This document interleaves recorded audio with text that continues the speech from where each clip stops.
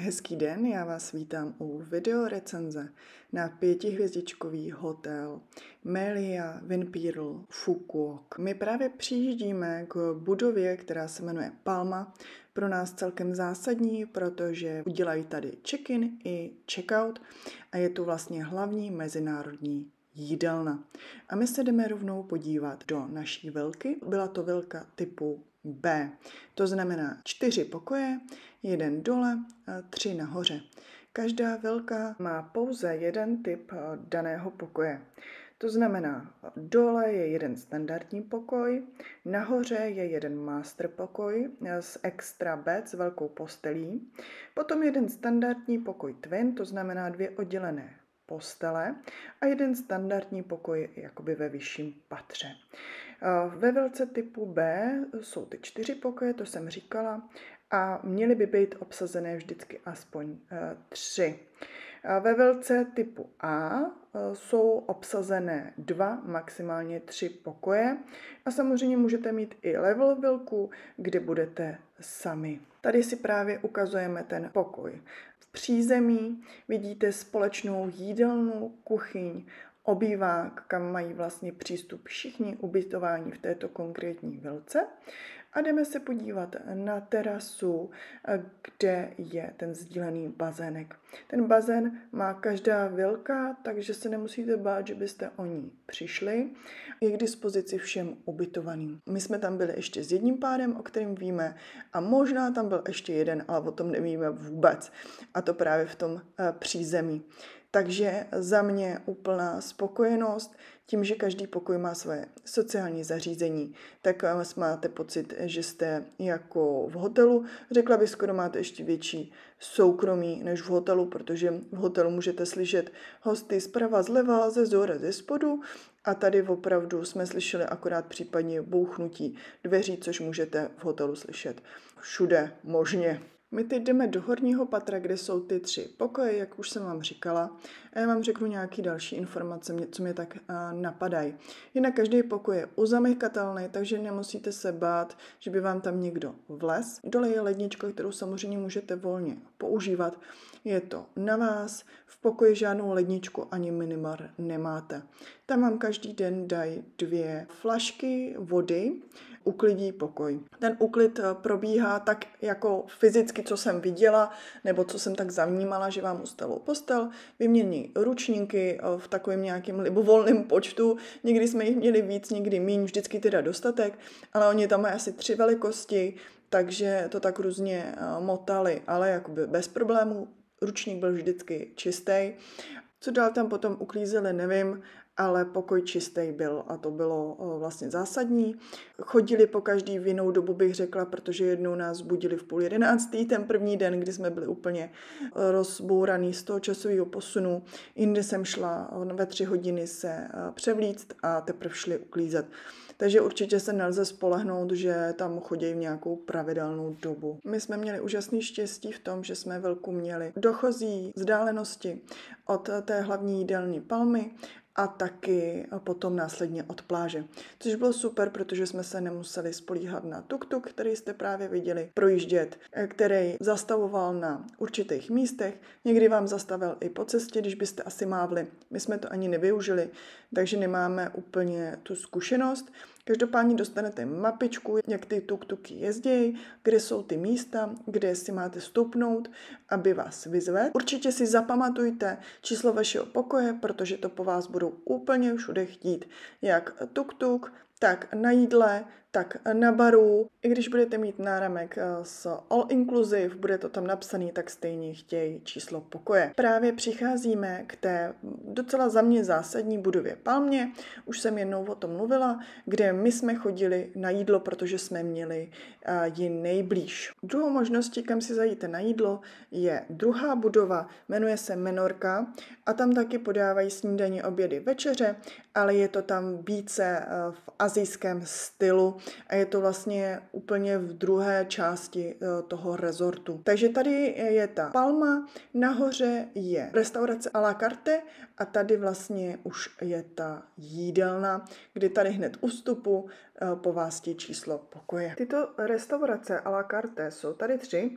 Japonská, středomořská, italská. Každá je v jiné budově a musíte si tam zarezervovat eh, místo. Samozřejmě jenom je to v rámci all inclusive, nebo můžete tam, i když nemáte all inclusive, ale musíte zaplatit.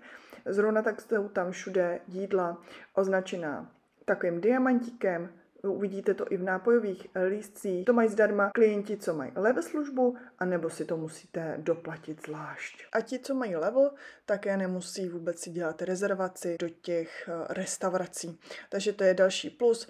Těch plusů je spousta, ale to si řekneme třeba ještě později, jestli na to bude čas. A teď vlastně my jsme v době snídaně, ten výběr jídla byl veliký, dalo se tam určitě vybrat. Ten, kdo byl třeba v Turecku, tak eh, to se úplně srovnat nedá. V Turecku to bylo možná až moc, ale tady to bylo, mm, myslím, že krásná nabídka, spousta dobrot a každý si přišel na své.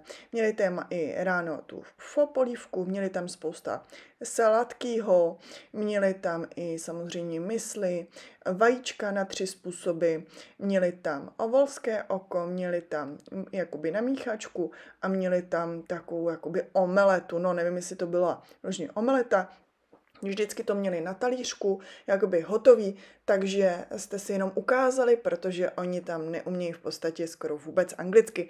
Fakt byl problém se tam na něčem domluvit, takže se hlavně ukazovalo anebo opakovalo mnohokrát. Co by pro někoho možná mohl být trošku problém, je, že nebyly tam ukázané alergeny, takže jsme tak spíš odhadovali, protože zrovna manžel má problém s lepkem, ale co se týká jídelního lístku v plážové restauraci, řekněme, tak tam teda alergeny ukázané byly, takže to aspoň eh, tam bylo fajn. Tady jsme to spíš odhadovali, ale i tak se manžel hezky naje. Protože tu bohužel nemám žádné záběry budovy Alkudie, tak vám něco o ní řeknu tady ještě u snídaně, kdy vy si můžete v klidu prohlédnout, co se tam všechno nabízí.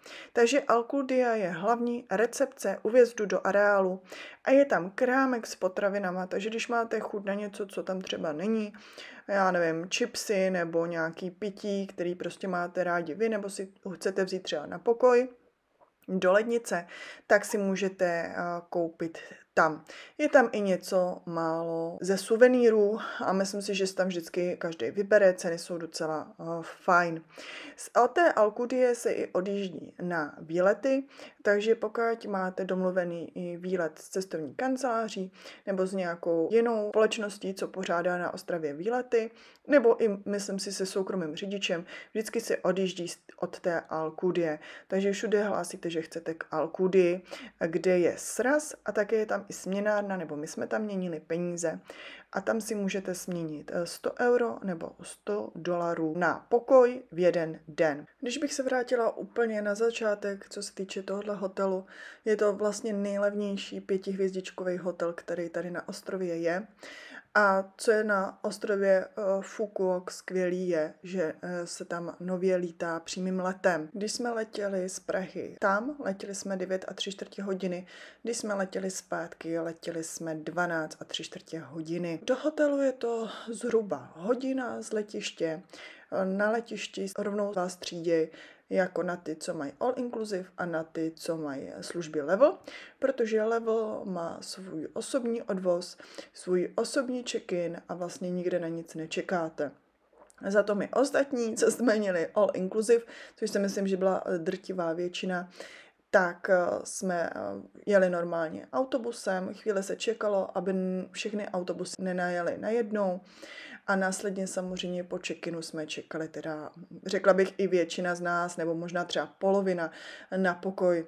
Já nevím, jak dlouho jsme mohli čekat, hodinku, dvě, pak jako omluva eh, nám přišla pozvání na barbecue na pláži, který jsme se teda nezúčastnili, takže vám úplně neumím říct, ale četla jsem různě na skupinkách a tak, že to stálo za to, že to byl fajn zážitek, takže doporučuji za ostatní. A já vám právě teď natáčím cestu vlastně z té Palmy na pláž do té restaurace nebo té plážové budovy Sébie. Cesta z Palmy tam do Sébie trvala 6 minut, což mi přijde docela krásný čas a úplně v klidu to zvládnete pěšky. Nemusíte ani využívat služeb tuk-tuku, samozřejmě pokud jste starší ročníky, tak eh, chápu, že radši využijete tuk-tuk.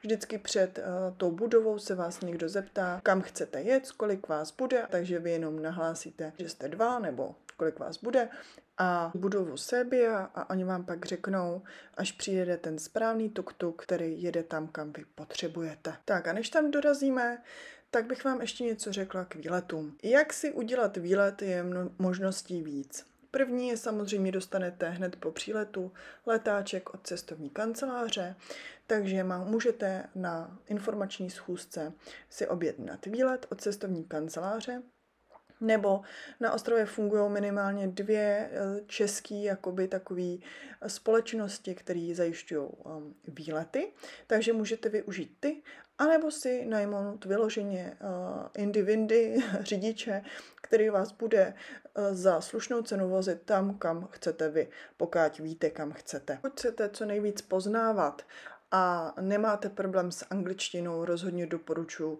nějaký to individuální poježdění s nějakým řidičem, který anglicky umí, protože samozřejmě ty masové akce nejsou prostě takový a co si budeme povídat, je to hlavně o těch prodejních výletech, protože někdy ty výlety zní jako super a um, vy se akorát podíváte na nějaké rostliny a nakoupíte, tím to končí. Ne každý o tohle stojí, někdo ano, je to naprosto v pořádku, já sama jsem na takový výletu byla a mám z toho i vlog, takže můžete podívat se, ale pokud chcete opravdu poznávat a opravdu nemáte problém s angličtinou, určitě doporučuji individuální domluvení toho řidiče. A z mého pohledu, protože hodně lidí řešilo tu cenu toho výletu, tak eh, výlety od cestovní kanceláře nebyly tak natřískané jako třeba jiné hromadné výlety. Takže to je takový tip a jestli na tuto recenzi kouká někdo, kdo tam byl, kdo byl na nějakém výletě, budu moc ráda, když se se mnou podělíte do komentáře a od koho jste byli na výletě a jak se vám výlet líbil, protože si myslím, že pro mnoho dalších cestovatelů, co se sem bude chystat, by to mohlo být užitečné. Jinak, co se vám může stát, je, že můžete potkat nějakého hada. Já jsem neměla osobní zkušenost, a bylo nám řečeno, že to tam plašej a dělají všechno pro to, aby tam žádný nebyli. Přesto jeden náš soused měli pokoj v přízemí a na té terásce se jim had objevil.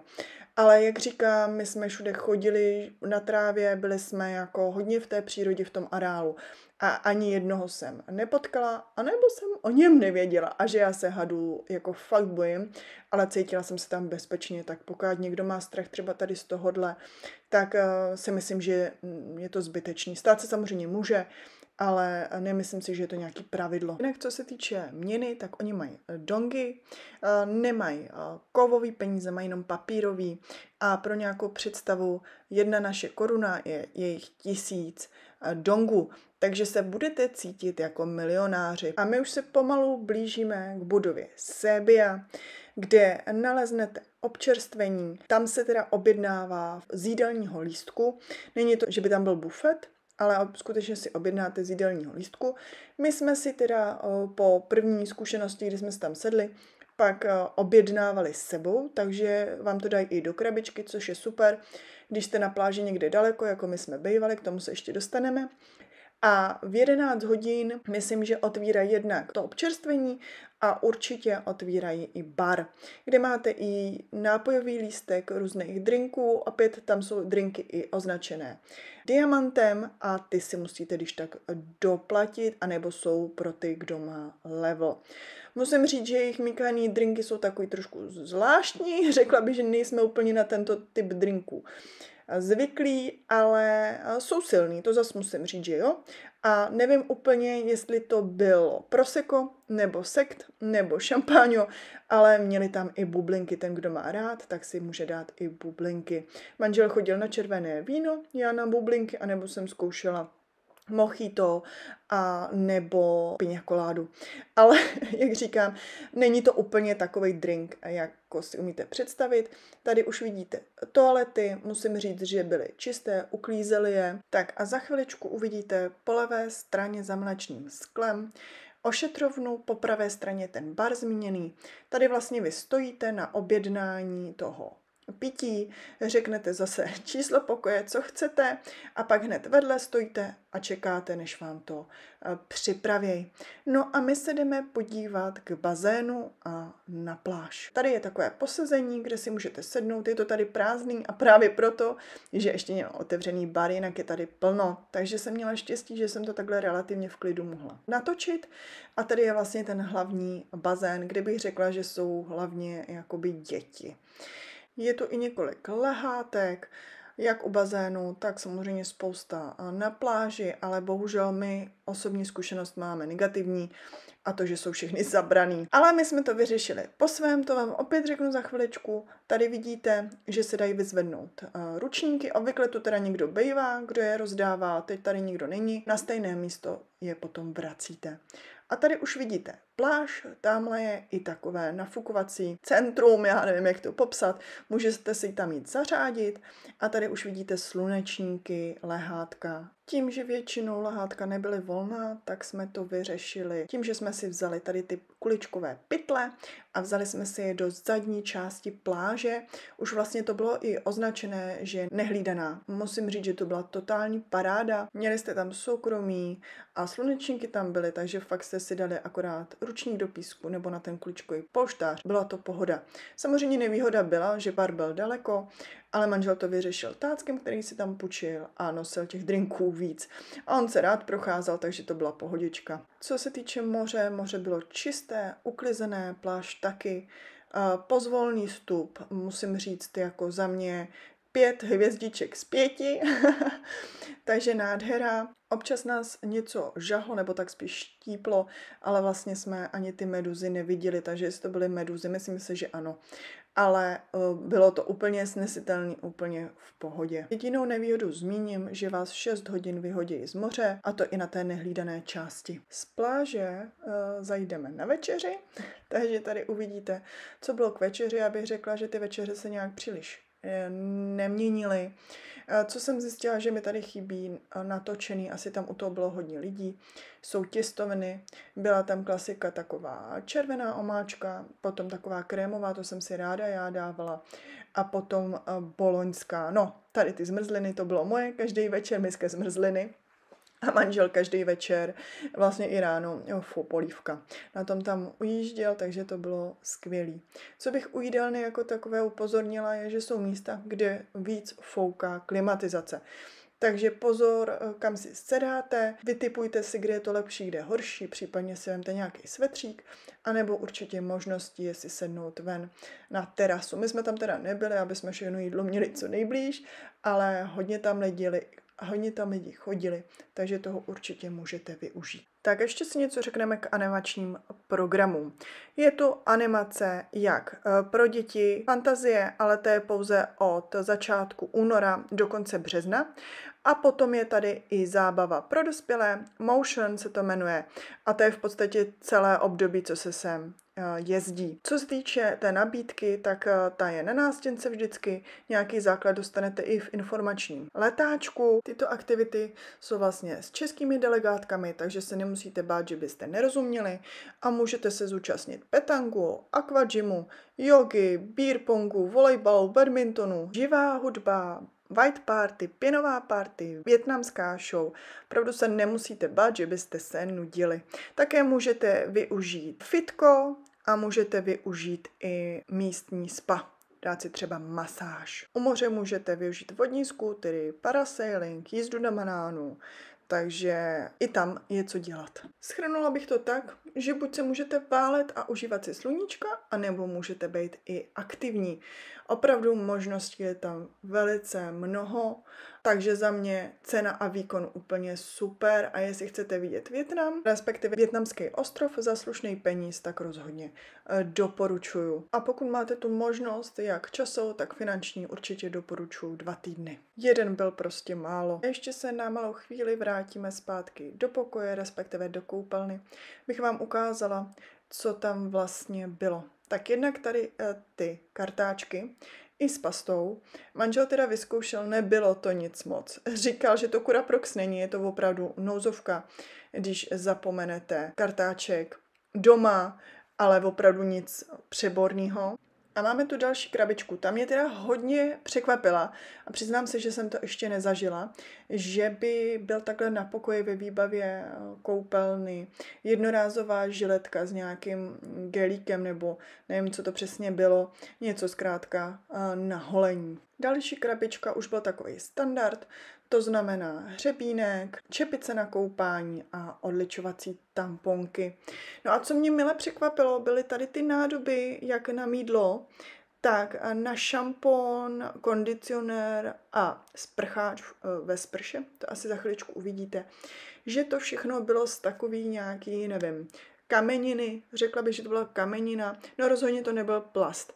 A doplňovali to, takže to mě v rámci teda nějaký uh, šetření péče o planetu uh, milé překvapilo, bylo to docela uh, fajn. U umyvadla bylo nejen mídlo, ale i tělové mléko. Co se týče tlaku vody, řekla bych nějaký takový průměr, nebylo to buchví co, ale dalo se. Takhle v sáčku hezky bylo náhradní toaletní papír a vedle v krabičce byly sáčky na použité intimní potřeby. A taky biretka, což bylo taky super. A ještě bych měla zmínit internet, Pokrytí bylo v podstatě v celém areálu, mělo tak být. Někde samozřejmě bylo slabší, někde silnější, ale docela se to dalo. A úplně na závěr bych vám chtěla ještě něco říct těm službám Level který teda úplně uh, cenově nevím, jak vychází, protože to nemají v ceníku, musíte poptat u cestovní agentury nebo cestovní kanceláře, přes kterou zájezd kupujete. A kromě jiných věcí zahrnuje i to, že se o vás stará jeden konkrétní člověk, máte i kontakt na WhatsApp, když něco potřebujete. Máte samozřejmě prioritní check-in, check-out, to jsme si říkali, welcome drink. Potom máte uh, speciální místo, kde máte snídaně od 7 do 11 Přístup do klubového salonku taky můžete využít konferenční místnost na hodinu za pobyt. Potom tu máme level bazén s obsluhou od 6 do 7 hodin a i level pláž s obsluhou od 6 do 6.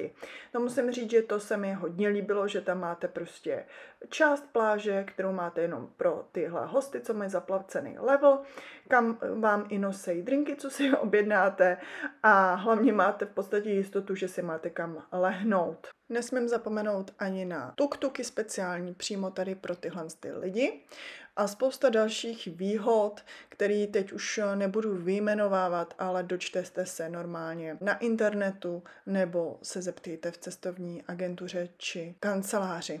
Doufám, že se vám tato recenze líbila, doufám, že byla užitečná. Pro ty, co koukají a už byli, budu moc ráda, když dáte nějaké své postřehy, klidně do komentáře. Čím víc informací tu bude, tím samozřejmě líp pro ty, co se tam chystají nebo zvažujou. Budu moc ráda za like a budu se těšit už u nějakého klasického vlogu na viděnou.